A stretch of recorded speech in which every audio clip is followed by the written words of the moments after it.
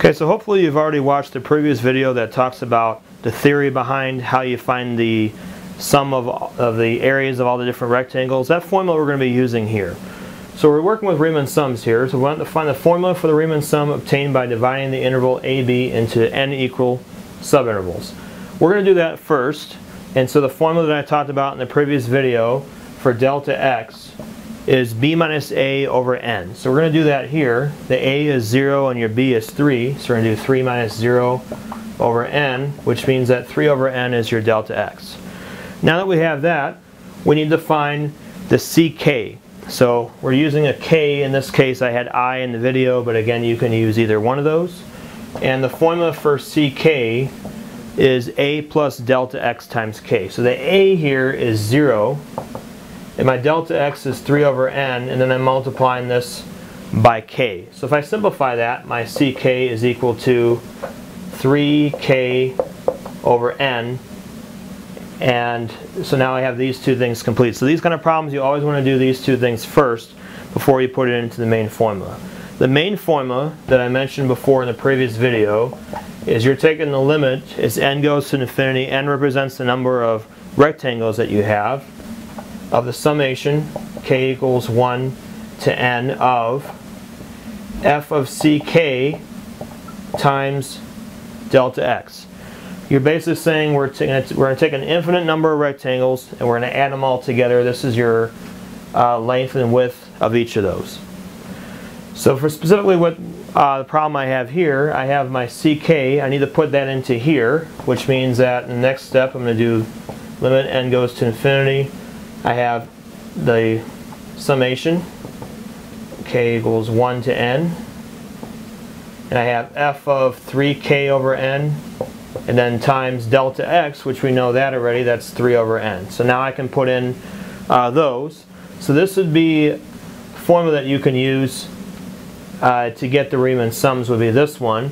And of course we can go further with that. We can uh, f of 3k over n what that means is you got to put 3k over n in place of the x in this formula. So let's do that next. From the limit as n goes to infinity, summation k equals 1 to n.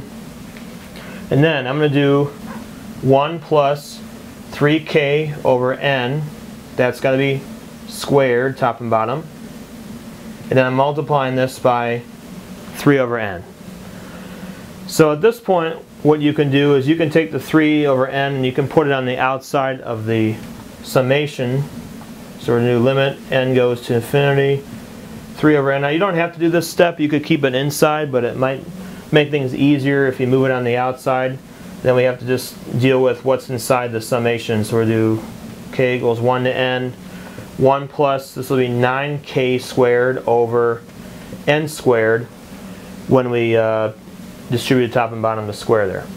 Now that we have this complete, what we're going to do next is we're going to separate this limit into two separate ones. So we're going to do limit n goes to infinity.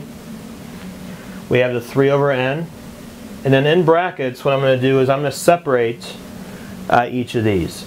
So each of these I'm going to multiply out. Uh, I'll do a, a, summation k equals 1 to n of 1 plus summation k equals 1 to n of 9k squared over n squared. So I did, I separated that in two different things. What you can do with this part is you can go further with it.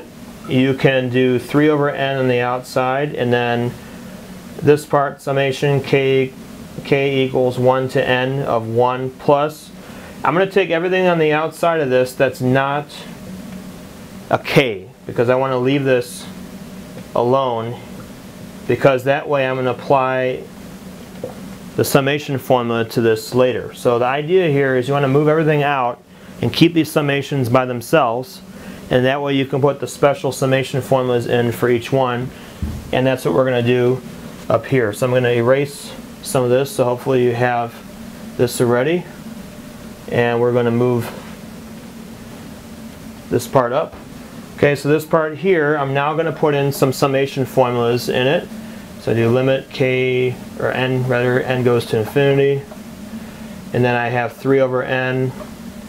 Inside, I'm going to use the summation formulas for each. So in this case, I have a 1 here, and that's being multiplied by n. So I'm going to get an n for that, because that formula says that you, if you have a c here, you're going to do c times n. That's the formula that we're using that we talked about before in the previous video. Then this part, I have 9 over n squared, but then I'm going to put in the formula for this. So k equals 1 to n of k squared. Now there's a couple different forms that I gave you. There's the uh, factored form and then there's expanded form.